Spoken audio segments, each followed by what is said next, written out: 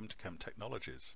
In this video we'll look at how to set up SharePoint environments mirrored between on-premises and the Azure cloud and show how to fail over to the cloud. Our configuration consists of load-balanced SharePoint servers and associated infrastructure including Active Directory, SQL and DFS servers. The on-premises environment is built on Hyper-V and the virtual LoadMaster provides load balancing across the SharePoint servers. It could also serve as the endpoint for the IPsec tunnel. In the cloud, the SharePoint and SQL servers provide a warm standby in case of failover, and LoadMaster Geo is configured on both LoadMasters for global server load balancing. In this example, the on-premises virtual machines in Hyper-V include the Gateway on-prem GW1 which is running RAS used for the IPsec tunnel to connect to Azure. But as mentioned previously, the LoadMaster VLM could be used in place of this. In the Azure portal, we can see the corresponding set of virtual machines running in Azure. We can also see the configuration of the Azure Virtual Network and IPsec tunnel. Two web applications exist for this environment. A central administration site, which is used to administer the SharePoint environment, and the production site, which is the site we need to protect in the event of a disaster. Here we see the LoadMaster configuration in Hyper-V. Note that the two real servers are shown as up.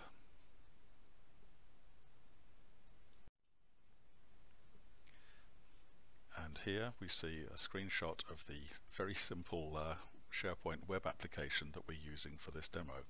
Notice there are currently only two documents in the important documents library.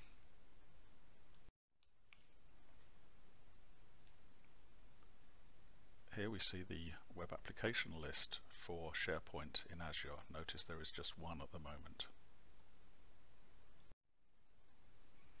And here again in Azure this time we see the LoadMaster configuration and in this case the real servers are shown as down. We have not yet created the SharePoint web application and that's the reason.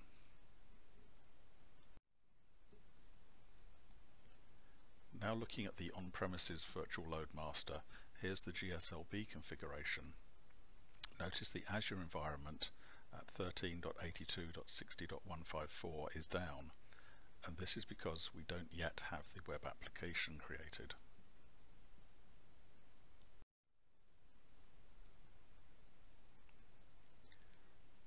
The Azure GSLB configuration in this slide here uh, shows a mirror of the on-premises and this allows both to work in parallel in order to give the sites the resilience that we need. GSLB requires DNS configuration We've created a node sp.kempdemo.com in external DNS and have added name servers to this. dns1.kempdemo.com points to the on-premises VLM and dns2.kempdemo.com points to the Azure VLM. Now we move on to look at DFS management. Both the on-premises and Azure FS1 are members of the colon BU replicated folder.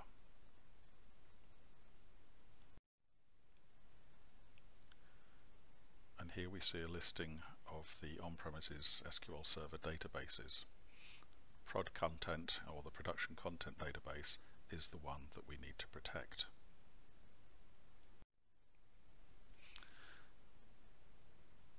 On the Azure side, notice that we don't currently have a database called prod content.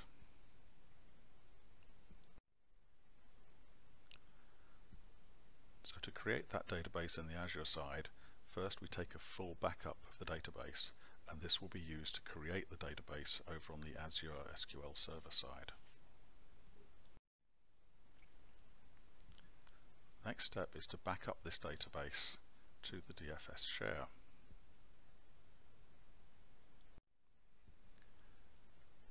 We see the settings for doing that particular backup. And as soon as that backup has completed successfully, we can move on to the next step. We confirm now that the backup can be accessed from the Azure SQL1 server.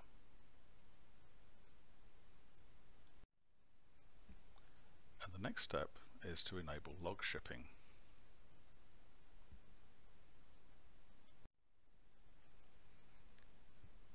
So we can select enable log shipping and select the backup settings to begin that process.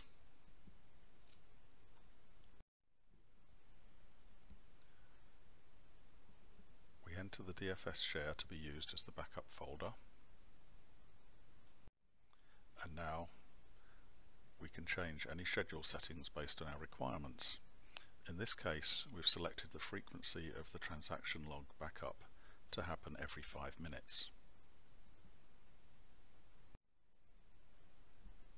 Now we add a secondary database and we connect to our Azure SQL1 server. We select the second option so that we can use the full backup that we took earlier to create the database in Azure.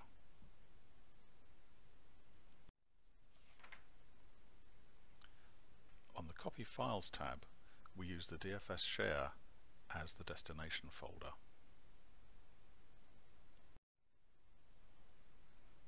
On the Restore transaction log, we select Schedule to set the restore interval. This will limit the amount of transaction logs that we need to replay into the database during the restore. And here we see the settings for that recurring restore activity.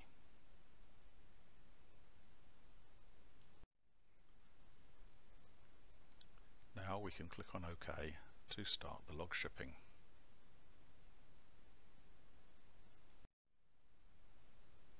And here we see confirmation of a successful outcome.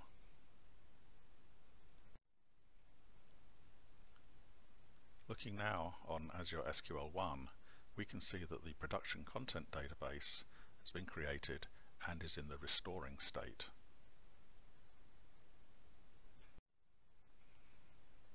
And you can see the transaction log backups getting created in the DFS share as well.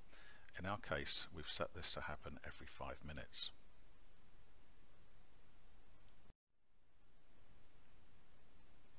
Next, to set up a failover test, we add a new document that is not in the full backup that we just made.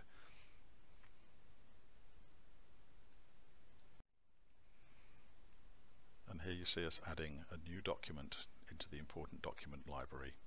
And since our backup is set for 5 minute interval, we must wait at least 5 minutes until the transaction logs are shipped to Azure. Now it's time to test the failover. The steps described in this section are carried out manually for this particular example, but could be scripted to automate the process. In the event of an issue or outage in the SharePoint environment, there are a few tasks that need to be done, assuming that you have access to the on-premises environment. First, you would need to stop log shipping in the on-premises SQL server. Simply go into log shipping and uncheck the box.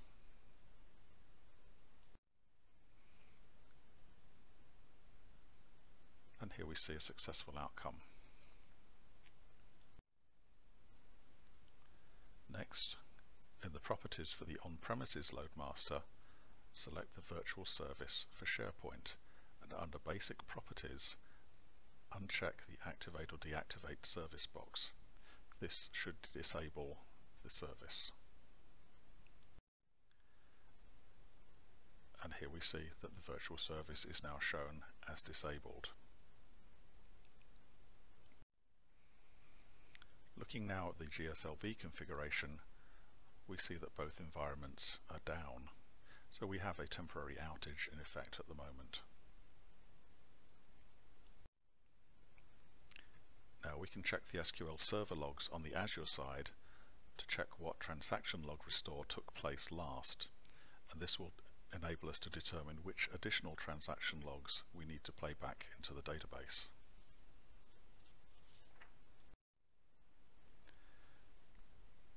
Now we can go to the Azure SQL1 and select the production content database and we select the task to restore the transaction log.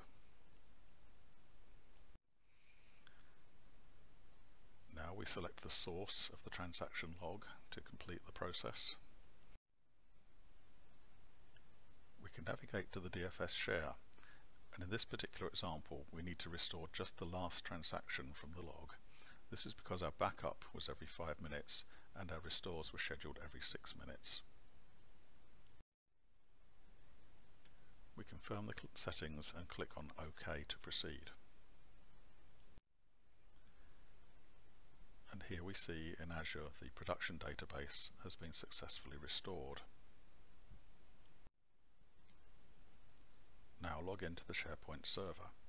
Here's an example of a PowerShell commandlet to add a web application to SharePoint. This points to the production content database. Save this file to run later. And you would run this particular commandlet within the SharePoint 2013 management shell. Now we see two web applications listed in Azure SharePoint, in particular the SharePoint production environment that we failed over from the on-premises site.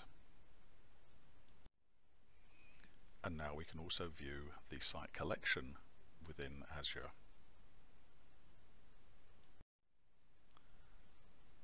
Now looking at GSLB, we can see that the Azure side is now up, so our failover has been successful.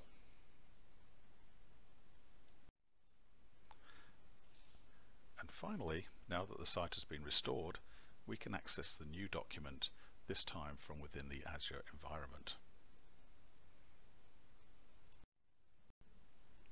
For documentation and additional information on LoadMaster and Azure, please visit kemptechnologies.com. Thank you very much for watching.